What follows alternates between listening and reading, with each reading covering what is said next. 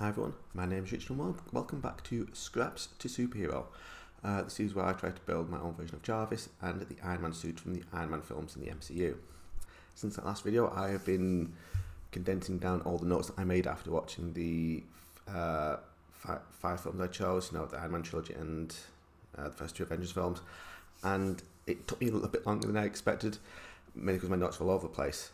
But I do have a list of things I want to include in C2, my version of Jarvis, and uh, the suit. And so let's just get into it.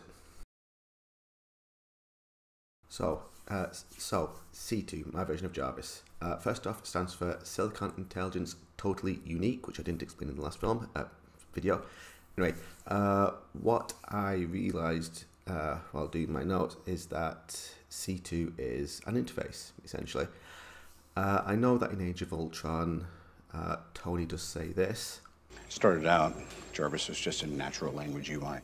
Now he runs the Iron Legion. He runs more of the business than anyone besides Pepper. Oh. Top of the line.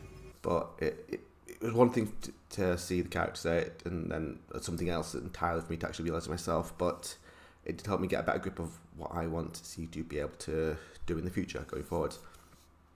But anyway, um, it should be something on screen now showing what the general idea of it, of C2, but there's like four general sections to it um, at the moment. Uh, first off is the user side of things, uh, the GUI, any text to speech and speech to text kind of things, you know, uh, take in and give out information to and from the user. Second thing is kind of the important bit, it's the like the interface layer. Um, way, I'm looking at notes with Mundun's.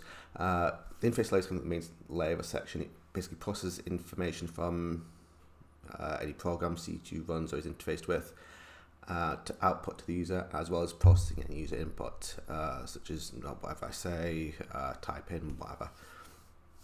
At the moment, uh, below that is basically like a couple of different sections that I want to work on. First off, um, the suit, interfacing with the suit, uh, working with the suit, transferring to, to and from it, uh, doing working, making the suit, any suit parts work. Um, the second after next to that is the computer layer, computer section, basically working, doing general computer stuff, uh, when doing music, uh, sort of decryption programs I write, basically decryption in quotation marks. Uh, and the second, next section is like working with the internet, you know, looking for information, looking for information, looking for information, uh, checking and sending emails, working with social media, I want to also plug in like uh, uh, working with YouTube uh, and um, other Google product products that I use. But generally, uh, generally, whenever I want to be able to, if I ever write a program or something to help me do my work, I want to be able to plug it into C2 and um, have her interface with it for me. Uh, next up, the suit. Right, uh, I'm going to be up front here uh, the suit is a section that I um, feel the most awkward doing, but I've I'm saying to, I'm, I'm saying I'm doing it, so I need to commit to actually doing it. Right, a lot of a lot of stuff you see in the films, uh, I can't do in real life because um, the tech doesn't exist, the physics doesn't ex- don't exist, um, or I just don't have the resources to actually make it. Uh, in terms of making it um, screen accurate, uh, screen accurate in terms of what the suit can actually do. Uh, there are plenty of cosplayers and other makers that can make cosplay accurate suits in terms of the way it looks, but I'm focusing on what the suit can do. So, uh, same goal, different path to it.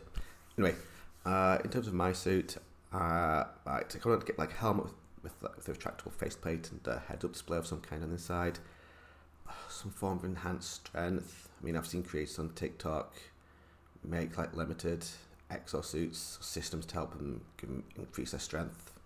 Um, some basic protection. I know there's like bulletproof and stab-proof vests you can buy, which I'm.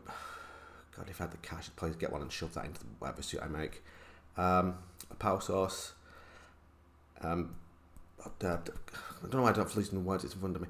Uh, a computer of some kind, like a Raspberry Pi, to work with any sensors as well as have C2 on it, uh, some basic sensors, as well as um, like a the closest I can get to that the repulsors is like being able to having like a hole to blow air out of. I would love to have some crazy idea to make it some limited flight, but uh, I don't. So I'm gonna have to be settled with like limited air blowing or bursts of air. But yeah, that is that's kind of it. I mean, I know a lot of this is going to be like pipe dreams or chasing the unrealistic or the unobtainable, but um, because I just want to. The main aim is I want to see what I can actually do with it in terms of making some of this reality.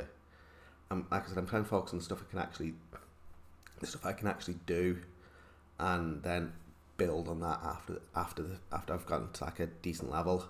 But uh, this is kind of going to be like an ongoing project, and I'll be providing updates when I have stuff to report. If you want to see where this uh, project goes, please hit subscribe, and I'll throw other videos on screen that you can check out for, for my other work.